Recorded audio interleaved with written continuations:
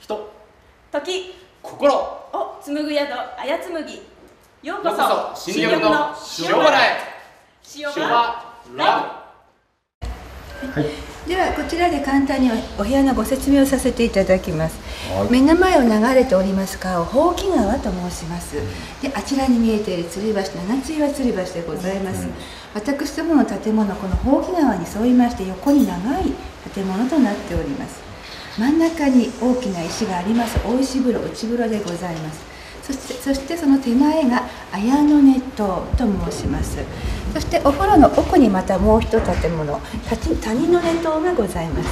本日お客様のお部屋はこちら202シオンのお部屋でございます。はい、それぞれのお部屋には日本古来のお色の名前がついております。はい、シオンというのはお花の名前でございますね。はい。秋9月頃に咲く藤色のお花、綺麗な花。の名前でございます。ではこちらからどうぞ。あありがとうございます。でどうぞそちらでお待ちください。ありがとうございます。こちらで非常口をご案内させていただきます。そちらの階段と、あとこちらの廊下の奥に2箇所非常口がございます。はい、何かの折にはこちらからお逃げください。まさかそんなことはないと思いますけど。はい、じゃあお部屋こちらでございます。ありがとうございます。今日は私が直しますので、はいありがとうございますありがとうございます。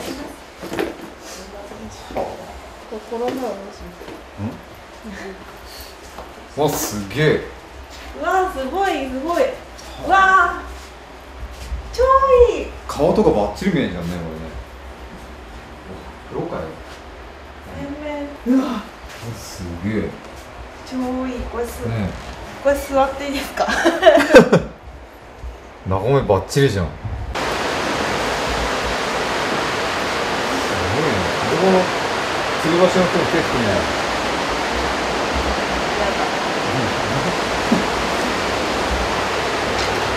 すげえ。おい。なんだ誰だよわ僕すごくねこあわあさああちらにいらっしゃるのは。どうも君島です。すごい。すごいねこれ。ベランダ露天風呂。ね超い。い、えこれ普通に。入りたい。入ってみないと。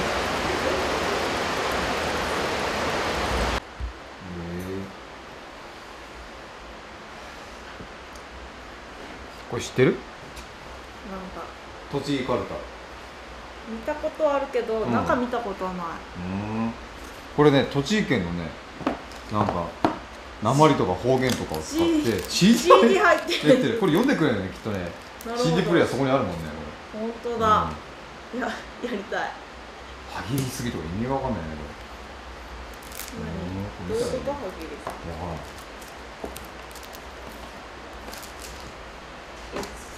り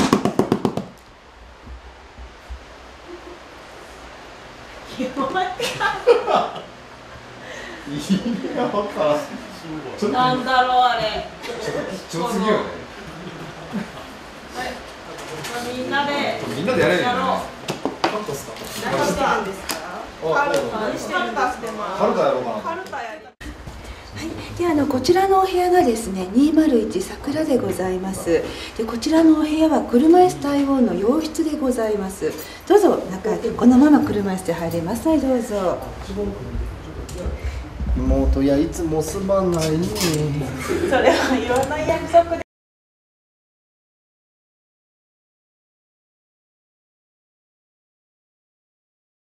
であのこちらがですねあのお休みになる場所でございますあのここちょっとあの、えー削ってあるんですけれどもここにあの車椅子の足のところがそのまま入れるようになっております。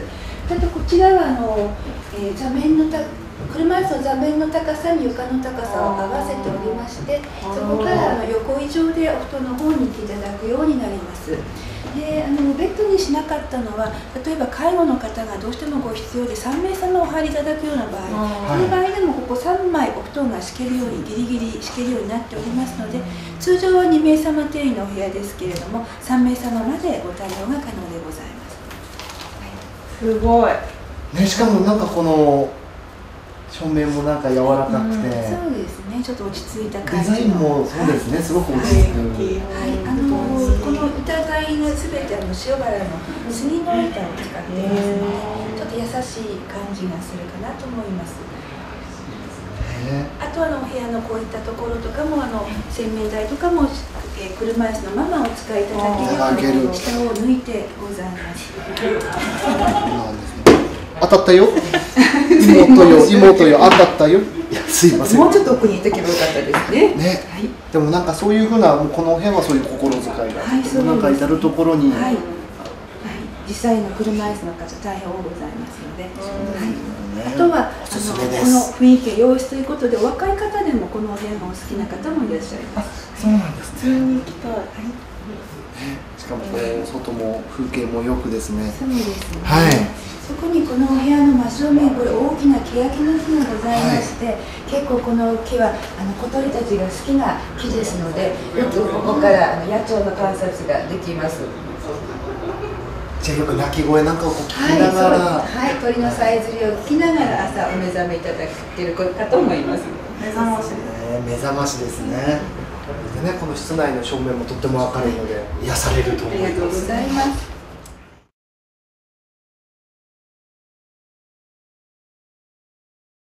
とても美味しそうなお食事が出てまいりました 今日のこちらメニューはどんな？はい、あの今日はレディオアコース様特別のランチでございます。メインとなりますのはこちら今火がつけましたけれども、はい栃木バニのハンバーグでございます。煮込みハンバーグでございます。はい、でこちらサラダですけれども、あの上に3色のトマトが乗ってミニトマトが乗っております。でこちらですね、こちらはあの塩原の大根の皮を使いましたごま味噌きんぴらでございます。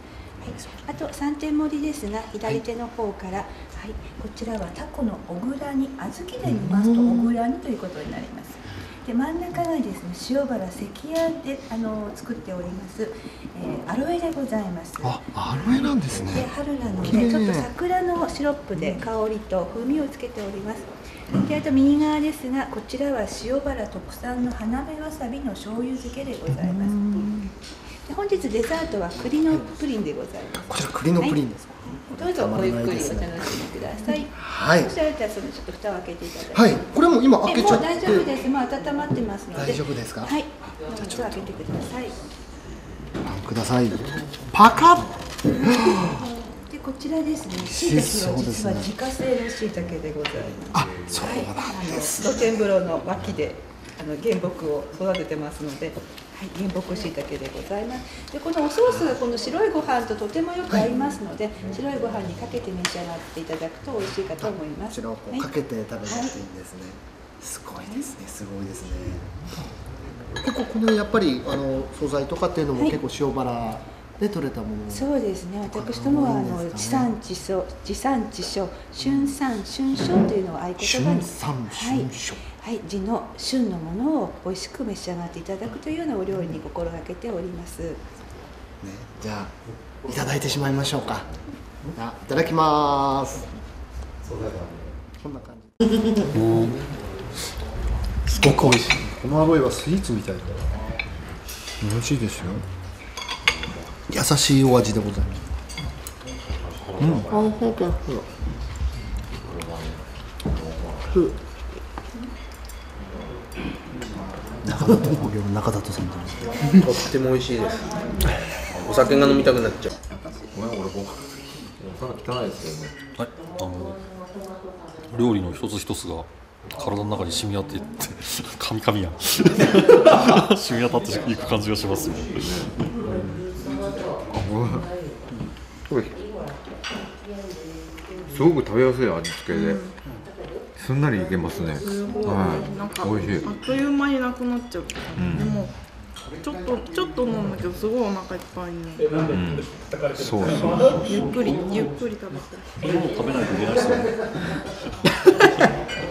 人に。適当に。はい。えこうか会話みたいな？のじゃなくて？適当ですよ適当にはい。美味しいです。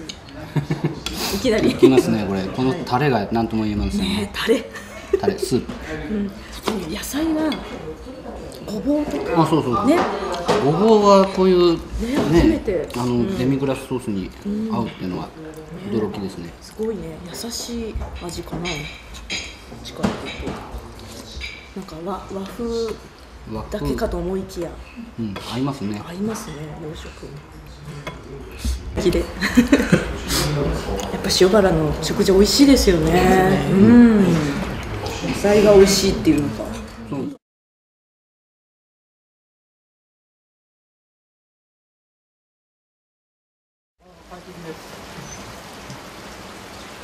いやこれ気持ちいいです本当に悪いですね。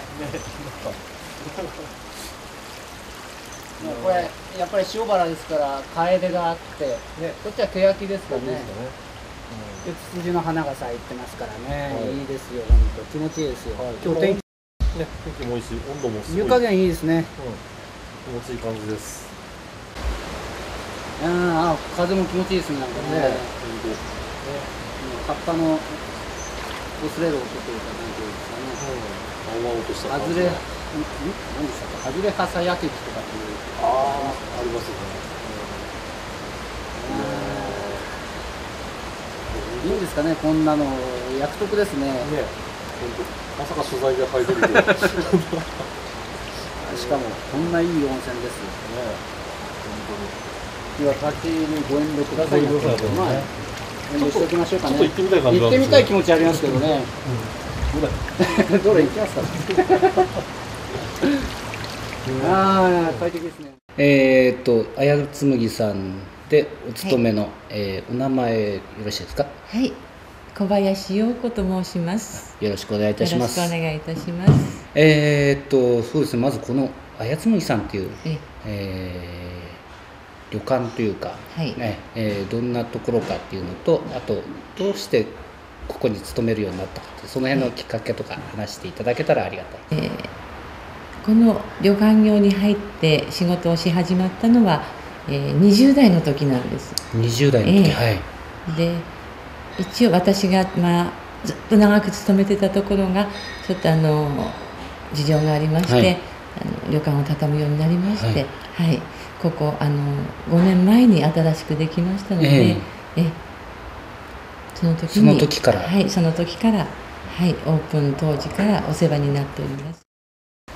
えー、あやつむぎさんってどんなところかってちょっとはいお話ししていただけますかね。はい、えー私が思うあやつむぎですね、やはりあのーお客様に癒しを与えそのの気持ちを豊かにする宿というあのーやはりそういう気持ちでお客様に私たちも接していますので、自分も豊かになりそしてお客様もその豊かさを旅館で得られるという、うんそういうあの良さがあるのではないかと思います。はい。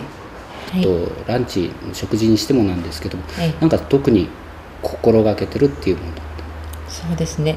やはりあのこちらの板町の、はいあのなんて言いますか手作りの品々がほとんどでございます。はいそれと地産地消という、そういった食材を、はいあの大切にいたしまして千葉産業のそういったあのところへも協力をしたいということで、にそういったあの面で工夫をしているかと思います。あはい。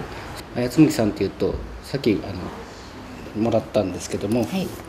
えー書いてありますのが「人時心を紡ぐ宿」というような形で、やっぱりあの季節感がすごくありますよね。そうですね。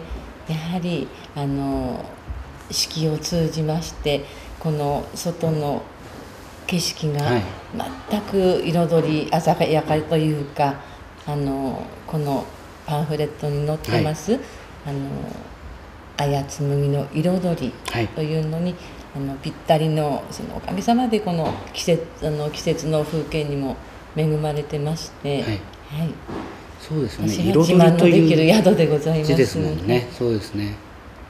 さあどうも本当ありがとうございました。ねありがとうございます。ありがとうございました。じゃあ今日はいろいろありがとうございましたいましたこちらこそありがとうございました。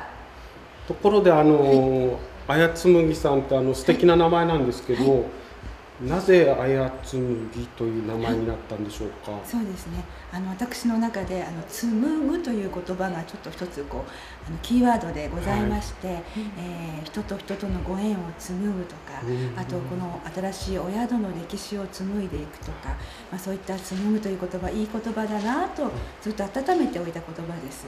でそこにじゃあ何をつけようかということで、であの私どものあの、旅館のテーマとして日本のお色というのが一つテーマにありましたので、え彩りという言葉を加えまして「あやつむぎ」と名前を付けました。まあ、あから始まってあの「あ」とか「や」とかってこう広がる音っていうのは非常に耳に心地のいい言葉ですしあの例えばあいう順で言った時にも「あやつむぎ」ってこう上の方に来ますよね。ええ まあそういったこともありまして「あやつむぎ」がいいかなと思います。へえ。あの入り口のところに、はい。はい。あの刺繍のようなはい。ものがありますけども、ああれはあれですか？ええええ。はいはい。なんかどなたかが手作りさそうですね。あのれたんですか。地元の方であのお知り合いの方があのオープンしたばっかりの頃ですね作って送ってくださったんです。はい。はい、まさにね、こう彩りの感じがありますよね。はい、であの木の額だけあのああいう額を作っているあのところが京都にあるんですけれども、そこからサイズを合わせて取り寄せて、はい、作らせていただきました。あのね、あやつむぎさんってあのみょうが屋さん系列って言っていいのかどうか、あれですけど、はい。あのなぜこのあやつむぎさんってやっぱり飛び抜けておおしゃれっていうかこだわってるっていうか、はい、雰囲気が違うと思うんですけど、はい、そこら辺はやはりおかみさんのこだわりなんですか？そうですね、まあ、あのよそと同じお宿を作ってもしょうがないかなっていうあの本当にオンリーワンのねあの、お宿を作りたかったのであのナンバーワンにはやっぱなれないんですよ。やっぱりな、あのお金もねあのありますしお金のこともありますしあのリッツ・カールトンみたいにね一泊何万もね といただければそういうのもあるかもしれないんですけれども、まあ、そういうわけにはいかないので、まあ、個性的にオンリーワンでいきたいなと思って。何かこうこだわってる点とかっていうのは？あるそうんですか？すねやっぱりあのお色ですとか色合いとかお部屋の名前にもあの日本の昔からのお色の名前を入れてますしあとはあのそういったそこのお椅子なんかもあの一応テーマカラー4色ロゴに使っている4色のお色のお椅子を作っていただいたりとか。はい、あとはあのもう一つ栃木へのこだわりというのが非常にあります。というのはあの私はもともと栃木に育ったものではなくて、えーまあ、どちらかといえば都会の方からこちらに来たわけなんですけれども最初はもうなんかすごく栃木って知らなくってもう全然何も知らなくて。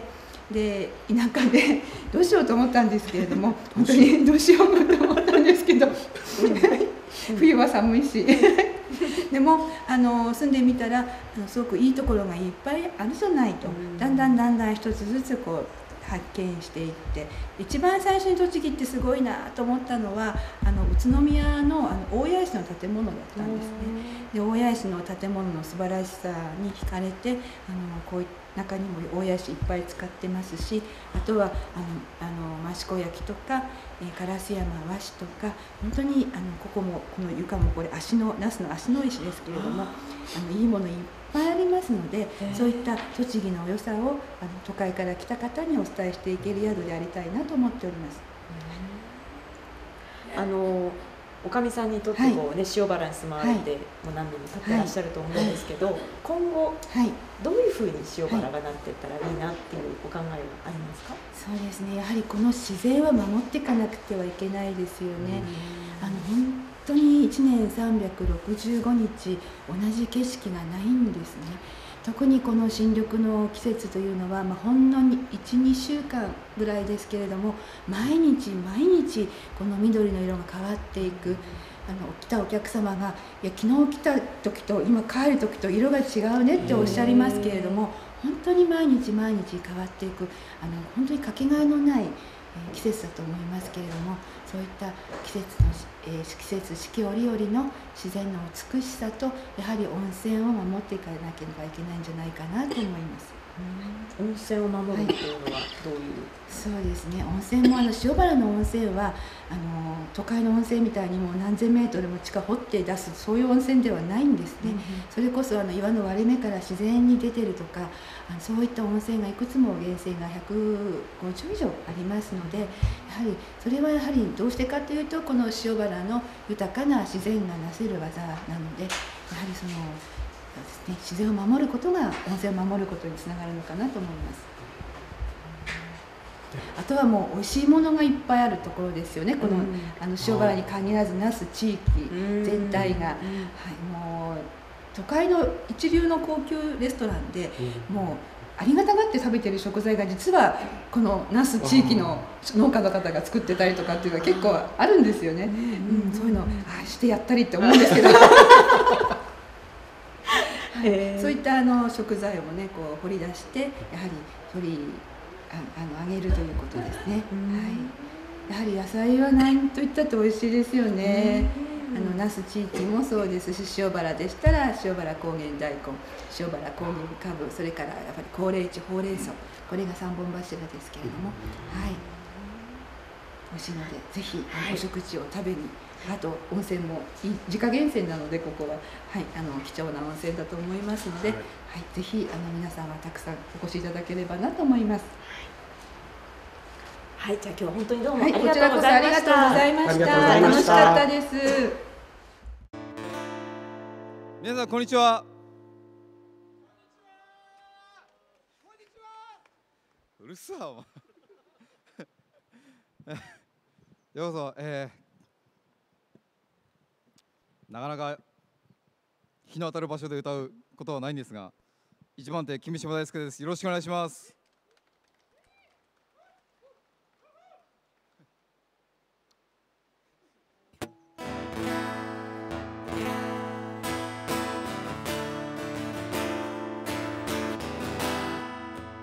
せっかくこういった場所ですから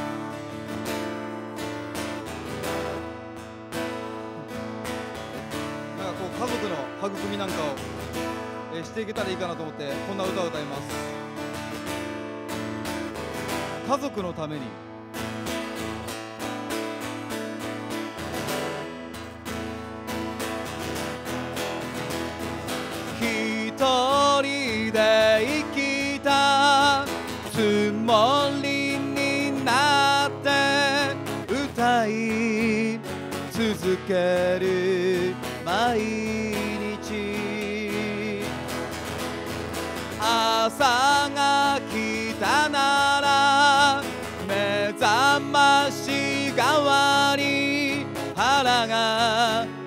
ったらご飯も出てくる。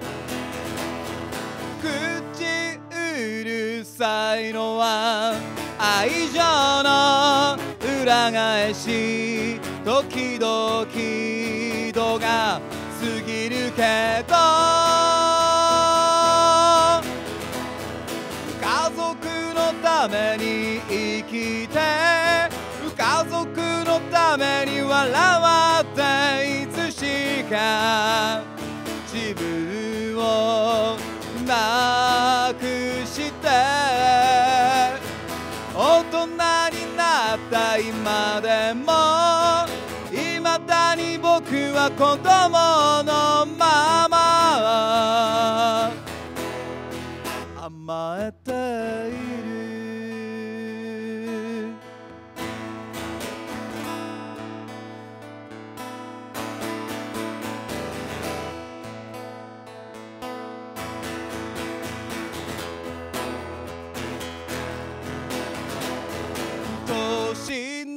数だけ迷惑かけて恩返しなどほど遠い産声上げた幼子抱きしめた時に覚悟めたのだろう諦めたもの山ほどあるくせにここまで付き合ってくれて。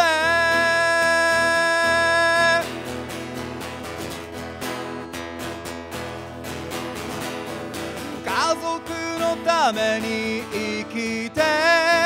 家族のために泣き晴らした瞳忘れない。大人になった今でも未だに僕は子供のまま。不安にさせてる。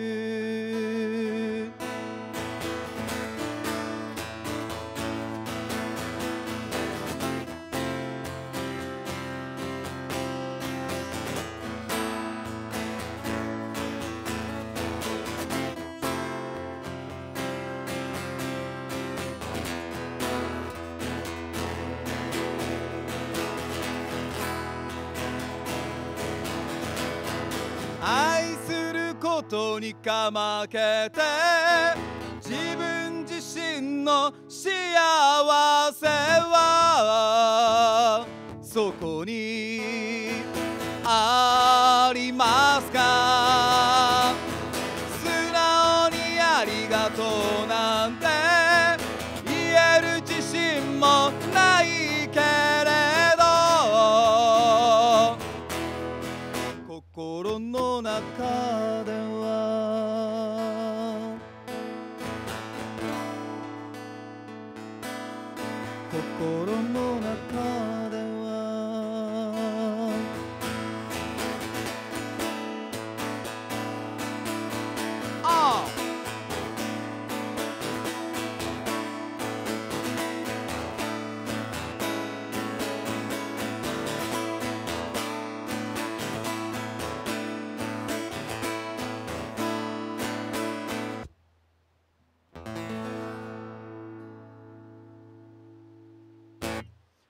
ありがとうございます。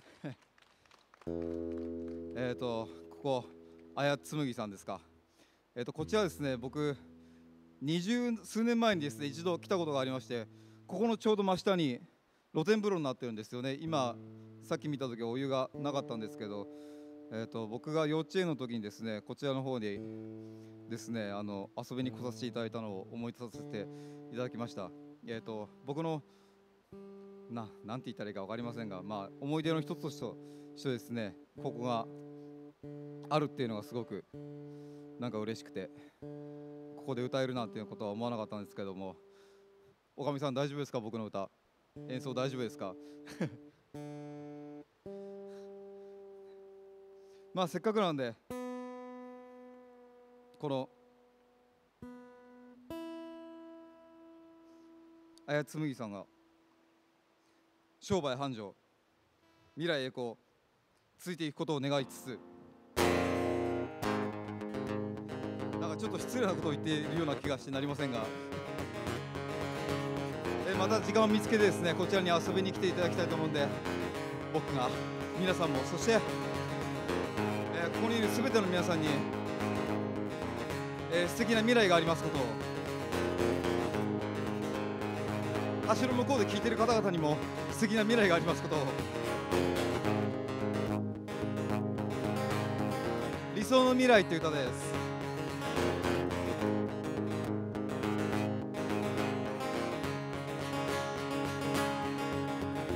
例えば今すぐこの場所で涙を流してみたとして。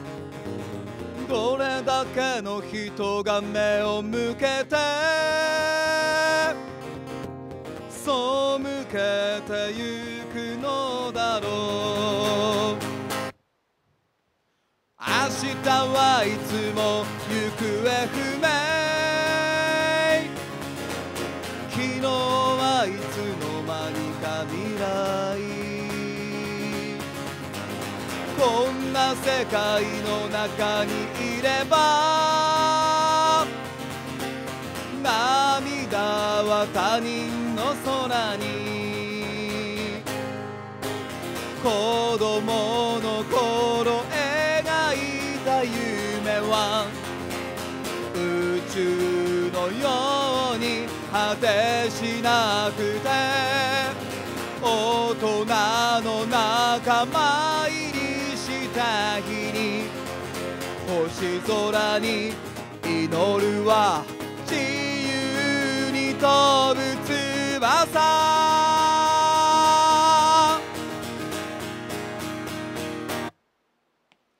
きっと理想の未来にたどりつくための時間は山ほどあった。ずっと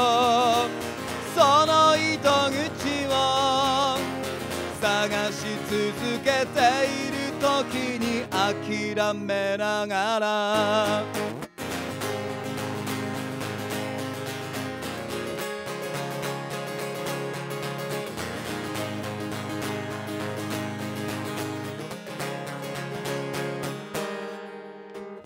不確かなから握りしめた。生き方にその重ねれば満たされることに憧れて好きな歌を歌う。分からず嫌な時の流れに。的外れな言葉並べて。誰に聞かせるわけでもない。その歌に詰め込んだ本当の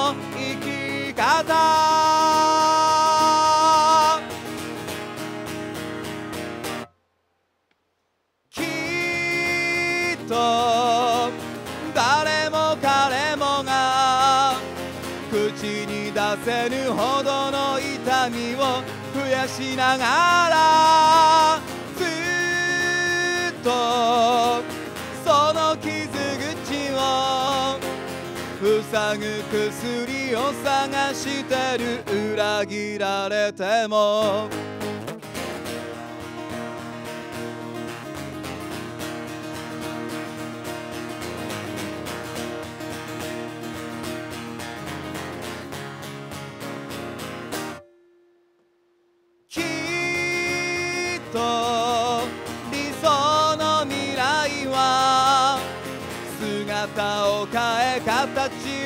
えまた描かれてそっとあなたの笑顔が素敵に輝く瞬きを狙っている。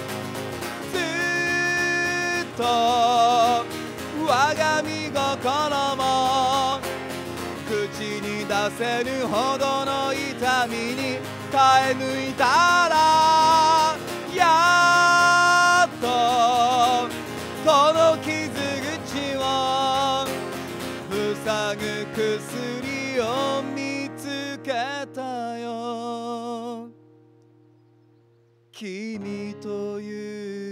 I.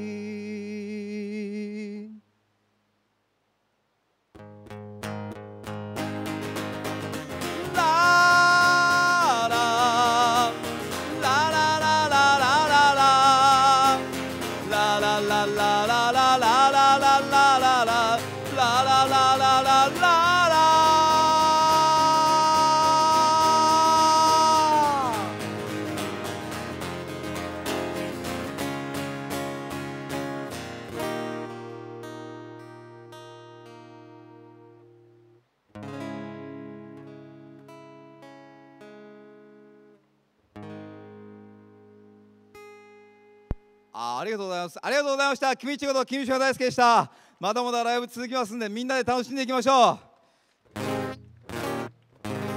あありがとうございます。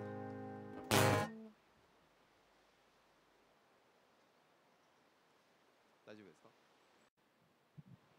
はい皆さんこんにちは。2番手遠藤香織です、えー、今日はこんな素敵なところで歌えるなんて私は幸せ者です、えーあやつむぎさん今日本当ありがとうございます、えー、精一杯歌っていきます。よろしくお願いします。ということで1曲目「ありがとう」という曲をお送りします。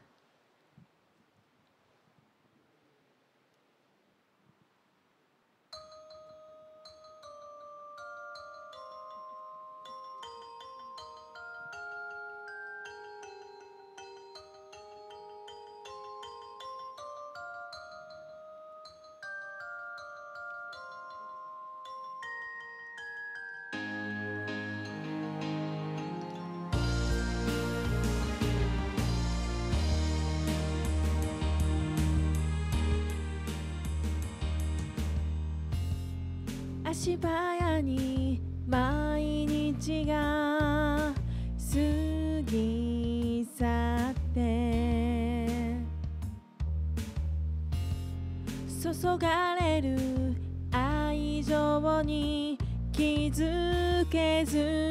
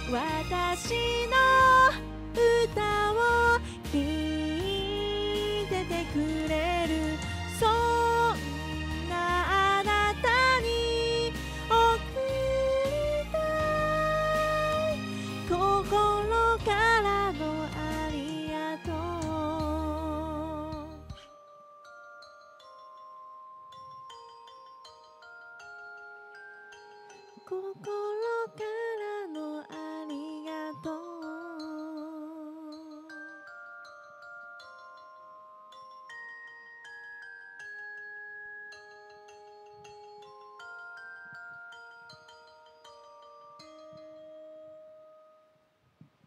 ありがとうございます。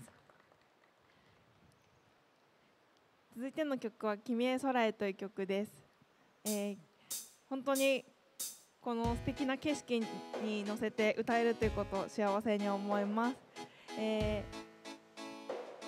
ー、新緑に乗せて高らかに歌っていきたいと思います。見てください。君へ空へ。今君はこの雨空を見て何を楽しかったこともあったろう。苦しかったこともあったろう。そのすべての思いを胸に君は大空へ羽ばたく。儚く散る花びらを僕は両手で受け止めよう。君の想いすべて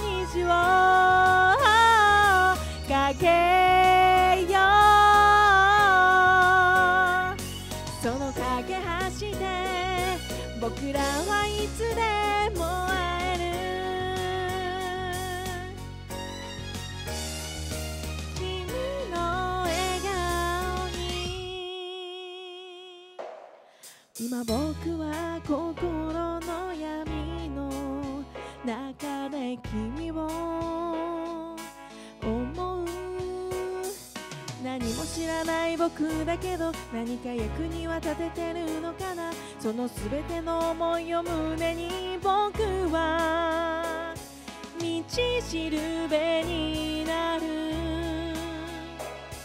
かすかに光るあの星を僕は笑顔で見守ろう。君の想いすべて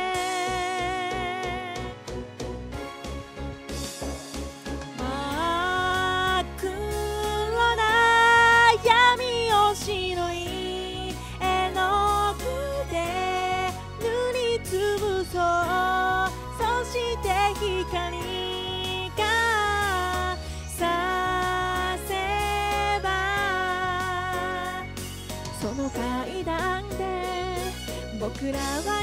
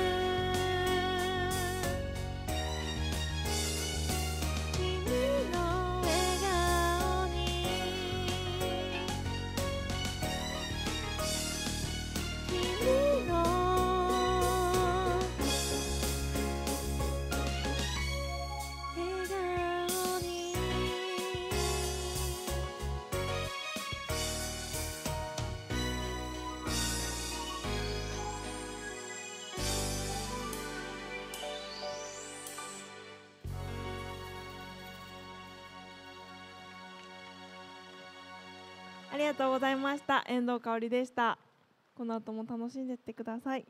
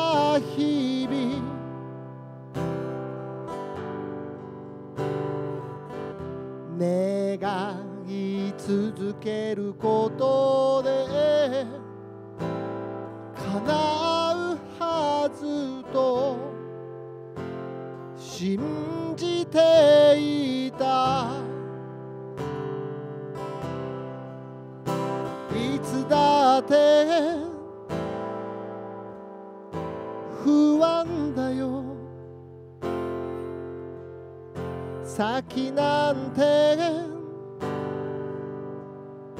見えなくてどうすればいいのだろう。わから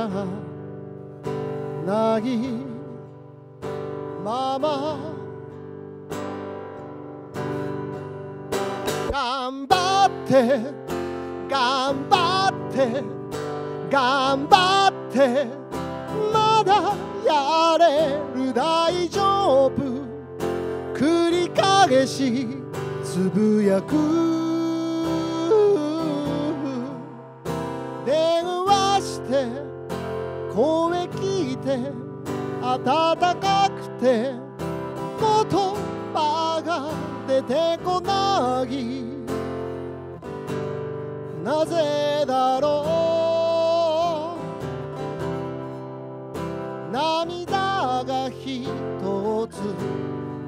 これた。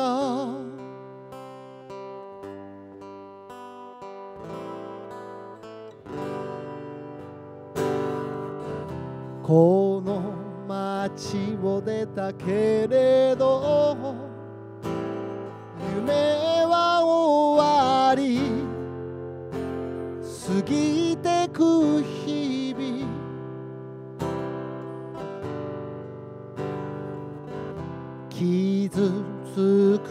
ことじゃ僕は強くなれず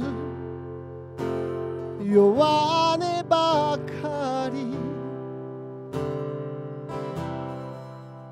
何もかも諦めてできないと投げ出して幸せはどこにある？ここにある。のに会いたくて会いたくて。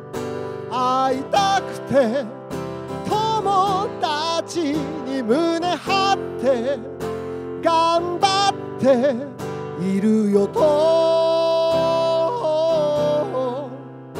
言いたくて嘘なんてつけなくてこのままじゃダメだって。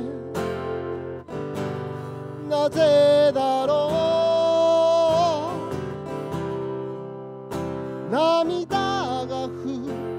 つこぼれた。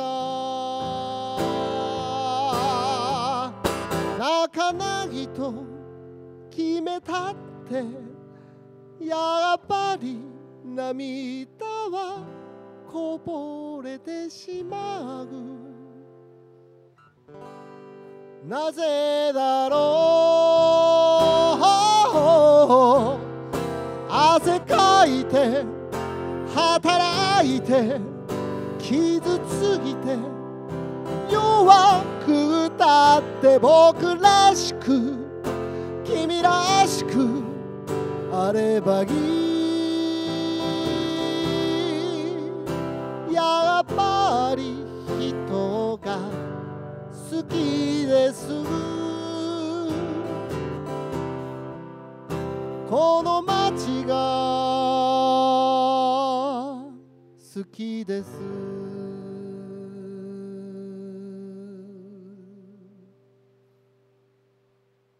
ふるさと。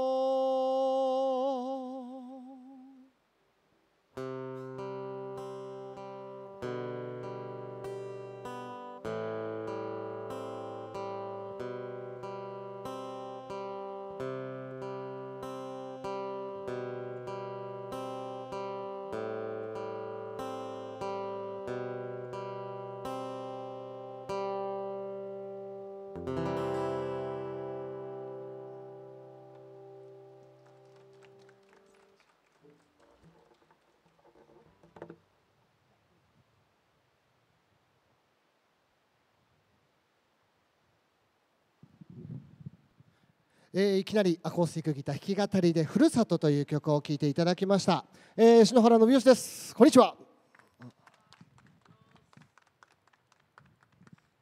えー篠原信義は、えーミュージシャンでございます、えーシングル CD3 枚を出して栃木県をねいろんなところで歌を歌わせていただいております、えーその傍ら、えー甘いものの、えー紹介するスイーツの記事を、えー新聞で書かせていただいたり那須塩原インターネットテレビさんでね番組を持たせていただいたりと、え今いろんなことにね挑戦させていただいているところでございます、えー今月になってですね僕もここに初めて来させていただきましたあやつむぎさん。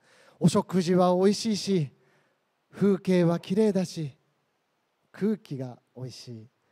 あのこれから先ですねここに泊まって曲を書いたらきっと優しい曲ができるんじゃないかなと思います。1週間ぐらいね 滞在して、えー創作なんかねやるのが僕の一つの夢が今日またできました。その際にはまたよろしくお願いします。何を言ってんでしょうかね。えーもう一曲、えーダンスナンバーを、えー聞いていただいて、えーお別れしたいなと思います。まだまだねライブの方ね続きます、えー夏塩原市の大御所の皆様が、えーこの後ライブが続きますのでねこうご期待でございます、えデビューして1年半の篠原は次の曲でお別れしたいと思います。七色ありがとうございました。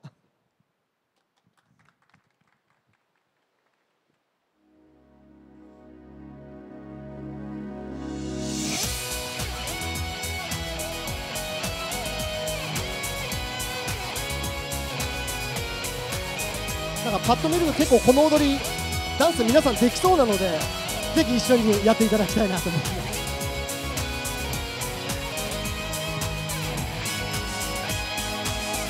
激しく叩く雨の中誓ったことを僕は今も昨日のことのように思い出せる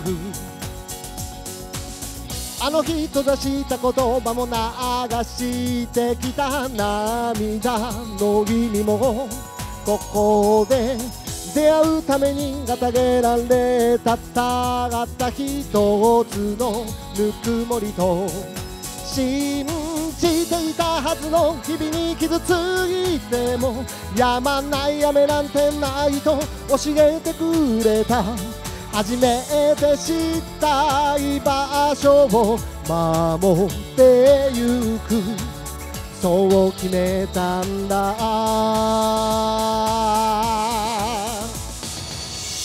誰もが幸せになる願いを込めて歌ってくよ空を見上げながら強く強く強くつないでゆく笑顔のために信じて。緑の中で踊ると気持ちがいいですね。どんな時も気づけば捧げてくれたこと。僕が僕らしく進むために差し伸べてくれたが温かさが優しさを知って強く生まれ変われる。全てを許すことでまた立ち上がれる。僕に笑顔をくれた仲間たちに届けたいんだ。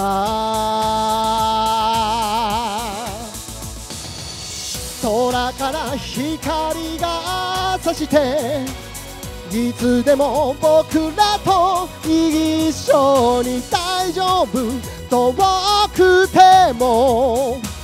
虹をかけて行こう。それぞれの色を目指すよ。描こ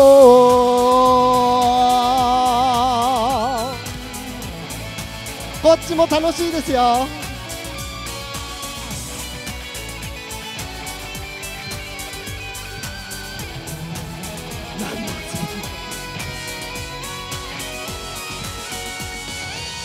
誰もが幸せになる。願いを込めて歌ってくよ。空を見上げながら。強く強く強く。つないでゆく。笑顔のために。空から光が差して。いつでも僕らと一緒に大丈夫。遠くても虹をかけて行こうそれぞれの黄色を目指すよ信じて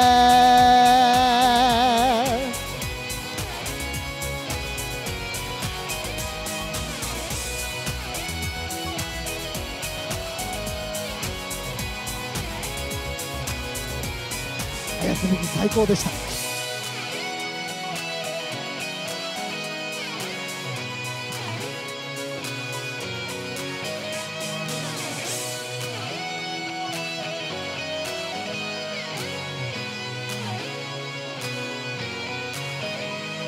人柄伸び寄せした。ありがとうございました。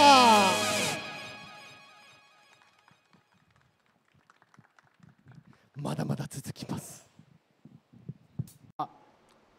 えー、今日は何ですかね。インターネットテレビ那須塩原インターネットテレビの、えー番組収録ですよね一応ね。ここれも収録されてるんですね。歌も。歌というか私歌わないつもりでいるんですけど、えー今日はウクレレの演奏だけでちょっと行かせてもらおうかなと思ってます、えー全然曲目とか決めてなかったんですけどもうここで来てこの雰囲気の中で日頃弾いてない曲を 思い切って弾きたくなってしまったんで、えー聞き苦しい点とかあるかもしれませんけどちょっとあの我慢して聴いていただけたらありがたいなとちょっとこの雰囲気のを味わっていただければいいかなというそんな気持ちで2曲ほどやらせていただきます。えー、と1曲目は、えー北の国から」という、えー北海道が舞台になってるんですけどもなんかこの大自然の中にいるとね、えーちょっとこんな曲が合いそうだなという気持ちになりましたんで、えー聞いていただきたいと思います。ではこれから演奏します。ウクレレで、えー北の国からです「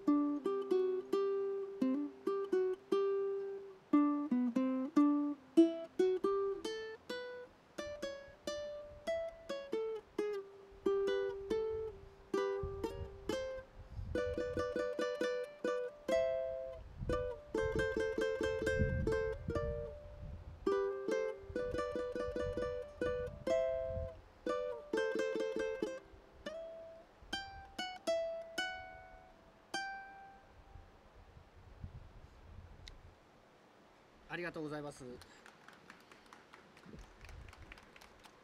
えーもう一曲ですね本当日頃全然弾いてないんですけどなんかもうこのほうき川の流れをこの瀬音を聞いててですねあのもうこの曲で弾ききたくなったともう弾きたくてしょうがないという感じで、えー選ばせていただいたんですけども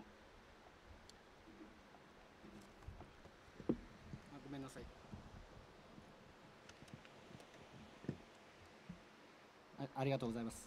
えーまあ、あのこの川の流れのようにということで、えー美空ひばりさんのねあの名曲なんですけど、えーウクレレ用になんかすごい風の、えーウクレレ用に楽譜がありますんでちょっとそれを、えー久しぶりに弾いてみたいなと思います。大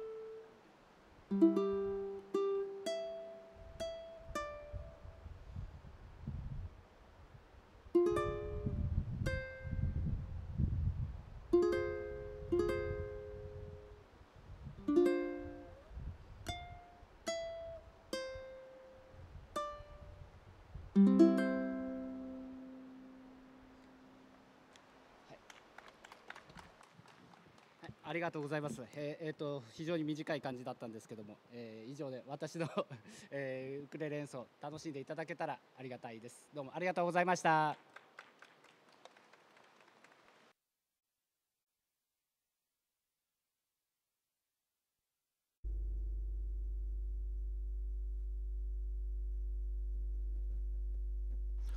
ははい、こんにちは、次郎と申します。えっ、とね、今日は、えー、とこのあやつみさんで演奏させていただけるということで、このね、あのいい天気の中、そしてね、川のせせらぎを聞きながら、え気持ちよく、えっ、とね、なんか、あの他のミュージシャンの演奏を聞いていると、ちょっと居眠りしてしまいそうになりましたが、ね、ご飯も美味しかったので、え今、非常に気持ちのいい午後を過ごさせていただいております。というわけで、今日ね、えー、とレディオアーカスの番組ということで、えー、と2曲ほど、えー、とお送りさせていただこうと思います。1曲目、あのえーまあ、県北地方、ね、夏が短いところではありますが、えー麦の秋と書いて麦秋と呼ばれる季節が一番暑いと呼ばれるのでその,、えーね、その気候にちなんだ曲を1曲麦秋聴いてください。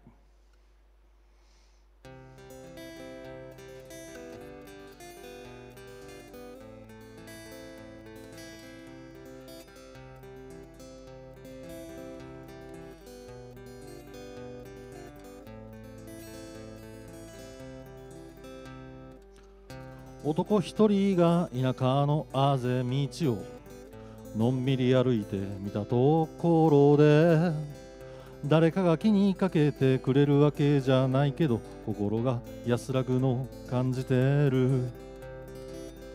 運命なんて信じているわけじゃないけど君との出会いは偶然じゃなくて君と別れたことも決まっていたことなのかなんて今更ながら感じてる。忘れたかった過ぎた日の記憶が忘れられない思い出に変わってゆく。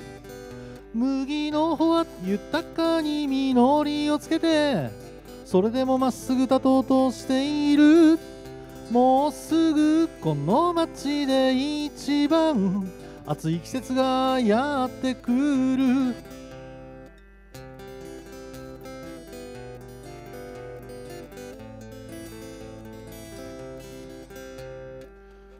来たばかりの頃はすごい田舎ですごく狭い社会だと感じていた。話しかけてくれる隣の人の笑顔が鬱陶しく感じることもあった。都会に疲れ仕事に疲れ果てて君とのことを忘れたかった。逃げ出してきたつもりではなかったけれどどこかで安らぎを求めていた。煩わしいだけの人付き合いがかけがえのない触れ合いに変わってゆく。麦の穂は豊かに実りをつけてそれでもまっすぐ立とうとしている僕自身も実りをつけながら背筋を伸ばしていきたいと思う。君に伝える機会はもうないけど新しい恋も始まっています。もうすぐこの街で一番暑い季節がやってくる。はい、爆秋という曲でした。は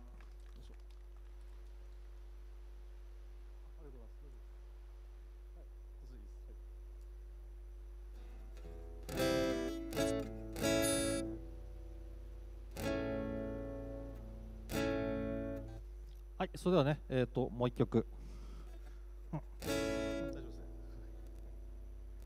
はい、でね、あの東日本大震災、えー、と復興に向けて、えー、とみんなが頑張っているところではありますが、えーとねえー、と僕らも、まあ、音楽を通じて、ね、あるいはネットラジオを通じてあのなんというかみんなの元気のもとになれればいいと思います。そんなわけで「えー、と I wanna be a Superman」スーパーマンになりたいという曲です、はい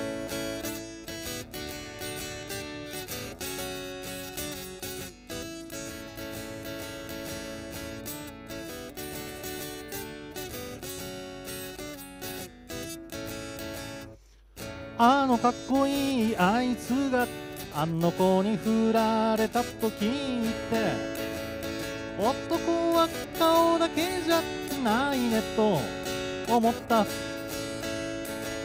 俺はあいつに比べりゃ特に取り柄もないけれどあの子の前だけはいい男でいたいと思う。愛はナビやスーパーマン。さんまよりも早く。あの子のハートを打ち抜いて。みたい。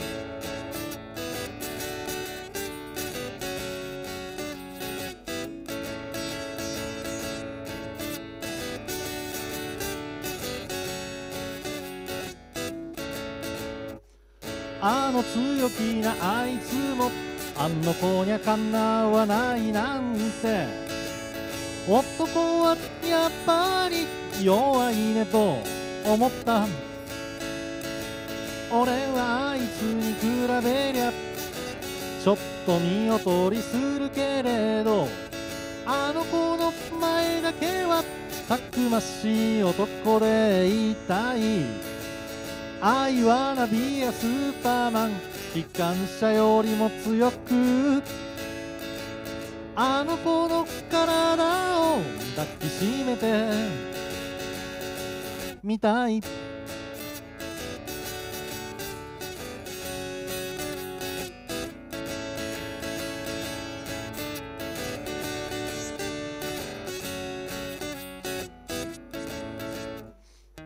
あの子が喜ぶとき一緒に喜んであげたい。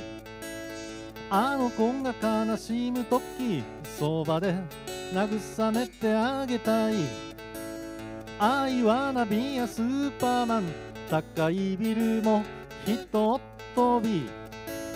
あの子の元へと駆けつけてあげたい。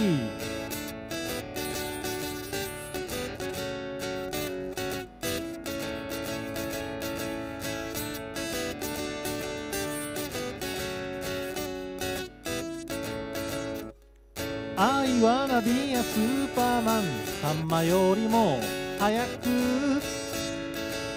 愛はナビやスーパーマン機関車よりも強く愛はナビやスーパーマン。高いビルもひとっ飛び。あの子の元へとひとっ飛び。できたら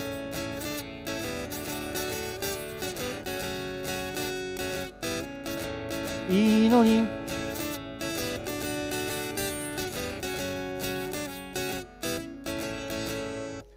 はい、アイワナビアスーパーマンという曲でした。あいつむぎさん、お食事も美味しかったです。また泊まりに行きたいです。はい、ありがとうございました。次郎でした。